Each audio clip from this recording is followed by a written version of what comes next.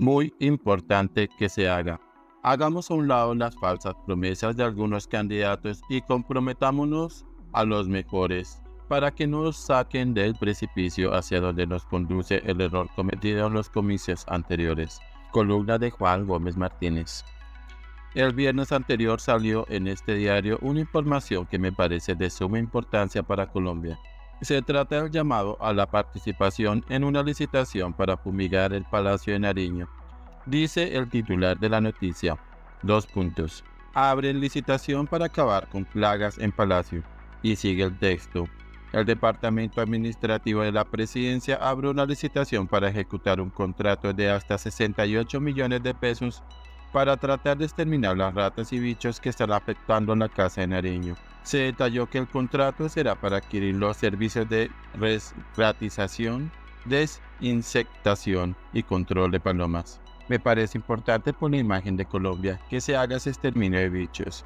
Me imagino la mala imagen que se lleva un visitante del palacio que le pase una rata por los pies o que por lo menos la vea. O están en un salón bien decorado pero lleno de insectos voladores estorbando.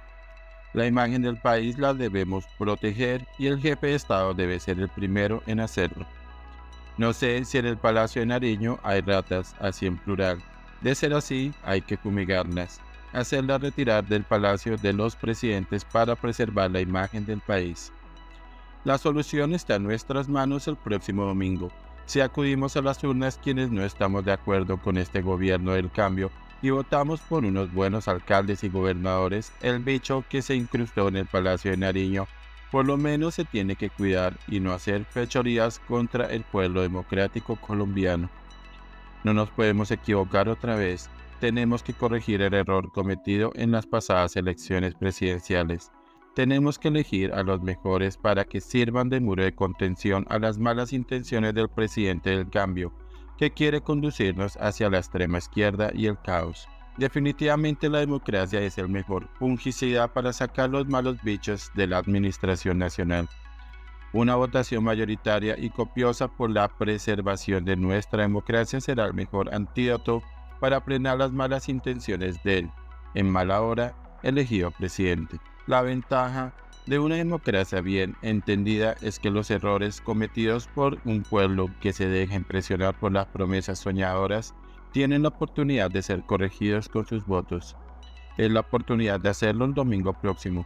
Votemos por los mejores para las gobernaciones, alcaldías, asambleas, consejos y juntas administradoras. Con unos buenos funcionarios y representantes en los organismos de control salvaremos a Colombia del abismo hacia el que nos conduce nuestro en mala hora elegido presidente. Hagamos a un lado las falsas promesas de algunos candidatos y comprometamos a los mejores para que nos saquen del precipicio hacia donde nos conduce el error cometido en los comicios anteriores. Que Dios nos ayude y nos ilumine para salvar la democracia colombiana.